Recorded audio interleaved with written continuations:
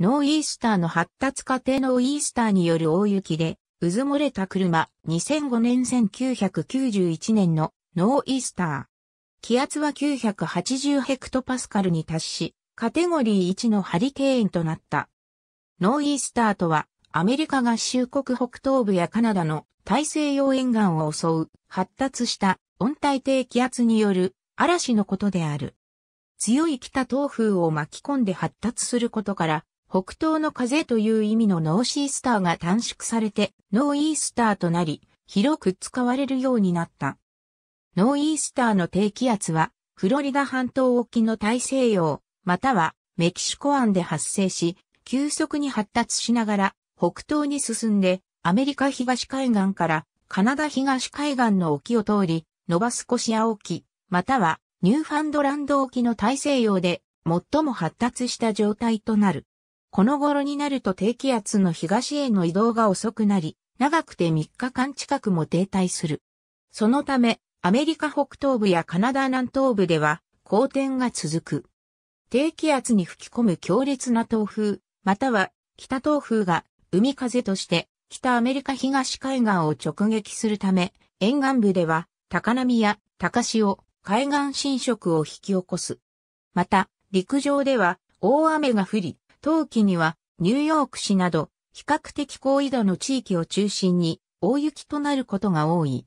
しばしば強風を伴う吹雪となるため、現地ではこれをブリザードと呼ぶことがある。また、ゲールフォースウィンドと呼ばれる強風警報が出るような風が広範囲に吹いたり、局地的に突風が吹いたりする。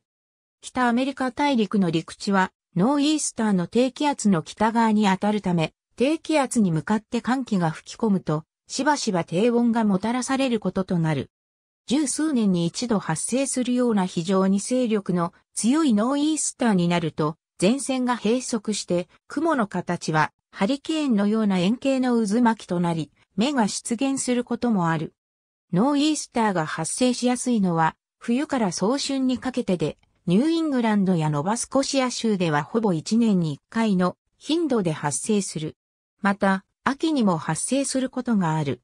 雨量は1時間に数十ミリメートルに達することがあり、積雪量は多い時で数十センチメートルから平地でも1メートルを超える程度に達することもある。海岸では高波や洪水に見舞われるほか、沿岸低地が広がる地域が多い北、アメリカ東海岸沿岸では海岸侵食による被害が著しい。砂浜の侵食はハリケーンを超えるほどのものである。気象学的には、同じ大陸東岸に位置する日本における南岸低気圧と類似した現象である。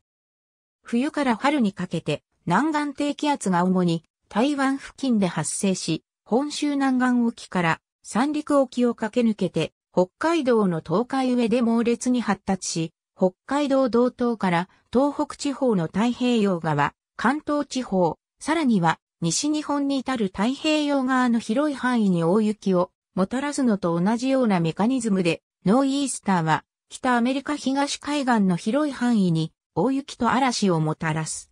なお、日本の日本海側における大雪と類似した現象は北アメリカでは湖水降下雪と呼ばれる。和訳は馴染みやすくしたもので参考程度である。正確には米国及びカナダにおける名称を参照のこと。ありがとうございます。